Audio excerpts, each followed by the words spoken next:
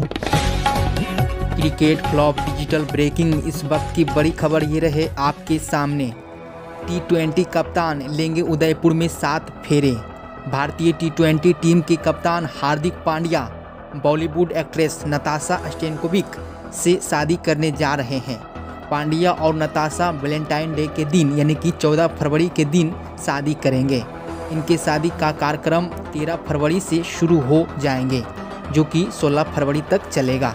इसमें हल्दी, मेहंदी सहित अन्य कार्यक्रम भी होंगे और शादी 14 फरवरी को होगी।